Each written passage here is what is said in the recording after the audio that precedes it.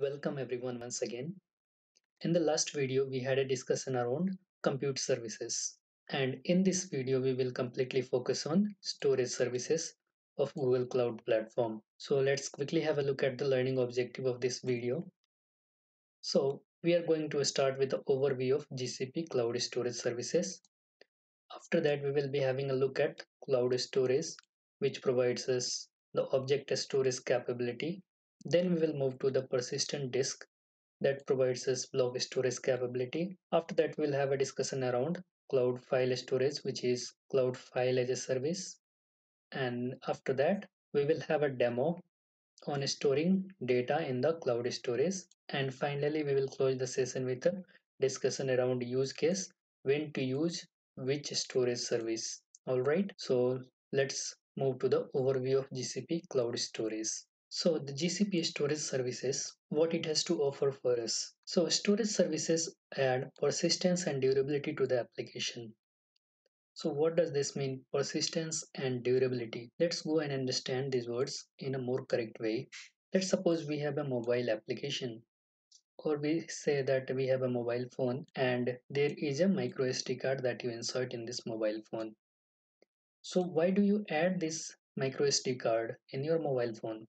So this SD card you are inserting so that you can keep your videos and songs in this memory card for a longer amount of time. So persistence means to persist something into the memory card or the storage device. Then what's durability then? So durability means suppose after one year or two years, suppose your memory card gets corrupted, your all the data will be lost, right? So the durability means the ability to withstand or damage proof or saving it from the damage, right? So the storage device, what it does, it provides us persistence and durability to our application. Now, storage services are classified into three types. These are object storage, block storage, and file system storage. And GCP also offers you storage services that can store unstructured data and folders and files, right? So we will have a closer look into all of this going further. So now let's have a look at Google Cloud Storage. So this cloud storage provides us unified object storage for variety of applications. These applications can store and retrieve the objects through a single API. Okay, so that means you have a storage device and you can write the data in this storage device by using this API and also if you want to retrieve this data you have to use the API and this API is provided by Google Cloud Storage Service. So GCS can scale to exabytes of data meaning it can store up 1 bits of data to infinite bytes of data. You don't have any restrictions on storing the data. The amount of data that you are storing, you have to pay according to that. And you don't have any limit on storing the data. And uh, GCS is designed for 99.9999% of durability. That means that the chances of losing your data is approximately nil. You will not lose your data with the Google Cloud Storage. GCS can be used to store high frequency and low frequency access to data. So in a typical applications, you have uh, data that you use it very frequently and there are also some data that you don't use it very frequently. Let's say that there is a life insurance company and the users don't need the data every day. This data is accessed on demand. Maybe yearly once or twice you need this data. So GCS offers you to store the structured data and the unstructured data as well as high frequency data to a very low frequency data, which adds cost saving capability. Now the data can be stored within a single region, dual region or multi-region. So you know that Google Cloud Platform is spread across many regions and zones, right? So if you want to store your data in a single region, you can very well go ahead and do that. If you want to store that in the dual region or let's say in a same continent, then you can also do that depending on your security requirement and your local government regulatories and you can also use to store your data in the multi regions now let's have a look at the storage classes and their types the first in the list is high frequency access and the class used for high frequency access is standard class. So high frequency access means the data that you want to use most frequently. The most common storage class that are used by developers. And optimized for low latency or reduced latency means that uh, the time taken for retrieving the data is very very low and this is very commonly used easy to access. The second in the list is low frequency access. And the class is called nearline class. That is meant for data that is accessed less frequently typically for the data that is accessed less than a month for those kind of data we use the nearline class and the third in the list is lowest frequency access or cold line class. This is meant for data that is accessed very least frequently and typically uh, you can say that the data which is accessed once in a year for those kind of data we can choose the cold line classes.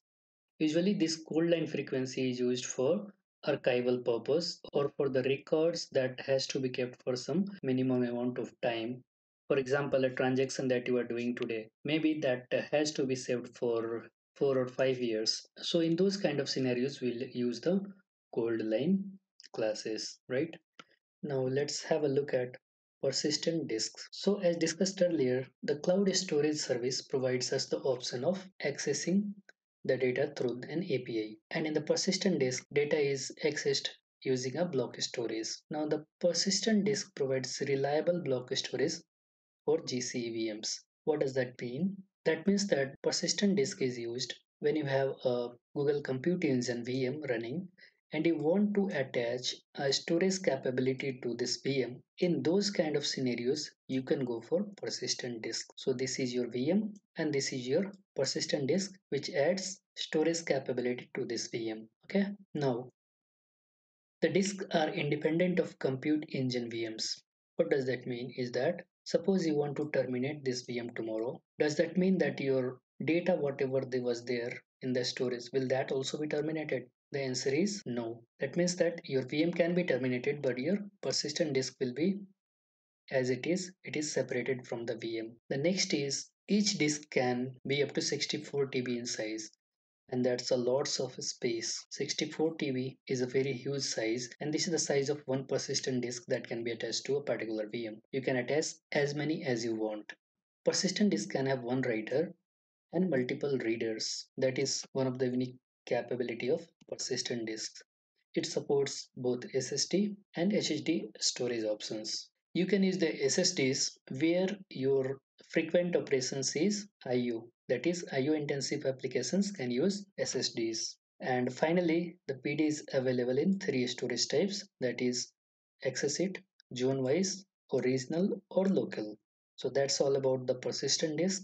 Let's move to cloud file storage. So like the block storage and object storage, Google also provides us the file store system. Managed file storage service for the application or you can say legacy application. It's a managed file storage system okay? So let's say that there is a legacy application which is an on-prem application right? And it delivers NAS like file system interface and a shared file system. So this NAS like what does that mean? Is network attached storage like so in a legacy application what happens which is on-prem it will be having a storage or it will be accessing the data which is coming from different networks right so it's a network attached storage that can be replicated in the Google file storage. It's a centralized, highly available file system for GCE and GKE, that is Google Compute Engine and Google Kubernetes Engine. Mostly use this file store cloud storage. Now exposed as a NFS file share with the fixed export settings and default Unix permissions. So this capability makes your application feels like the application is running on the on-prem, but actually it is on the cloud. File store file shares are available as a mount point in GCE VMs. So that makes it highly available. It feels similar to how your data is accessed when you are on-prem. On-prem applications using NAS-like advantage of the file store that we already explained now the file store has an inbuilt zonal storage redundancy for data availability. So like the other storage systems, it also has the zonal capability to reduce the redundancy for the data availability. Now the data is always encrypted while in transit. So whenever the data is in transit, it will be encrypted and that adds the security and that is one of the best feature of file store. So to summarize the file store, we can say that the on-prem applications which require a file storage type of system when any application that has to be migrated to the cloud, this kind of settings will be required for moving the application from on-prem to cloud. And the Google Cloud File Store provides us with such kind of capability so that it is easier for migrating your application without any hassle. Okay, so now let's have a demo on Google Cloud Storage. And in this demo, we are going to create a bucket and store images in that particular bucket. So I am on my Google Cloud Console and I have selected the project as TecnoTab that we created in our last video. If you don't have any project, you can just go ahead and create the project. But I will be selecting this TecnoTab only and I'm going to create a storage. So in the search box, I will type storage and I will select the cloud storage. There is no storage bucket available here. So we have to go ahead and create a storage bucket. So this storage bucket is nothing but your top level hierarchy in the Google Cloud Storage. And inside that you can have multiple folders and inside that you can have data. So there are few steps that are involved in creating cloud storage and we will walk it through you have to pick up a name that is globally unique. That means that you don't have any pre-existing name available for this particular bucket. I will name it TecnoTab. That's my channel name TecnoTab Stories. Okay, and continue. So the next thing that we will get is choosing the location type for this particular bucket. So there is a multi-region.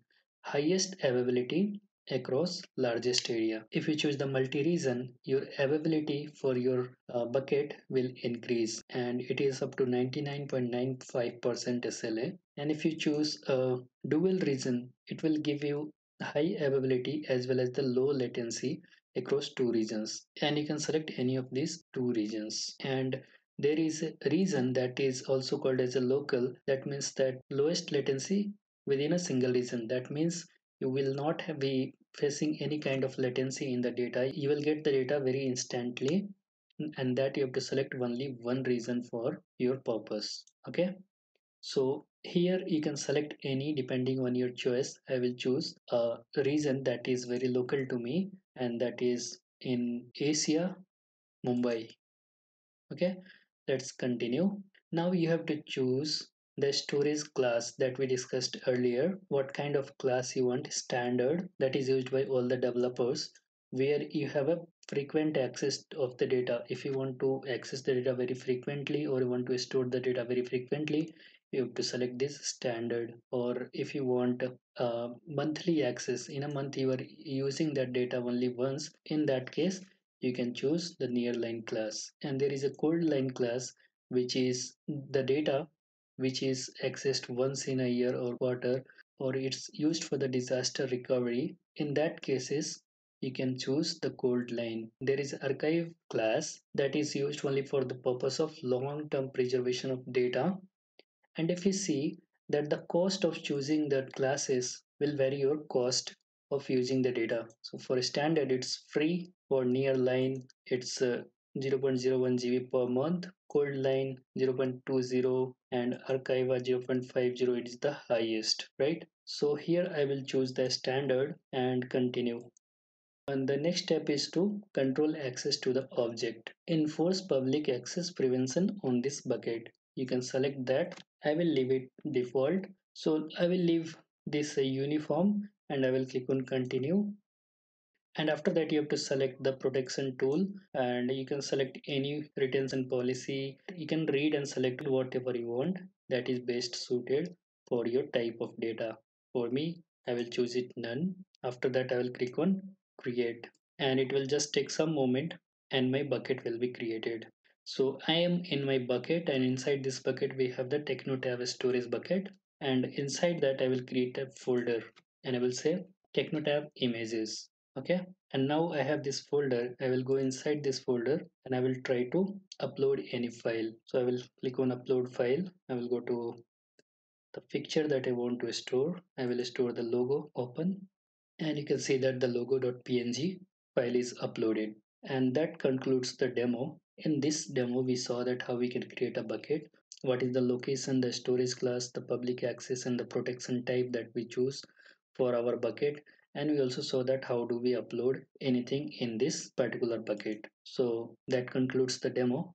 And now let's move to the use cases so that we can understand where we can use which kind of the storage services.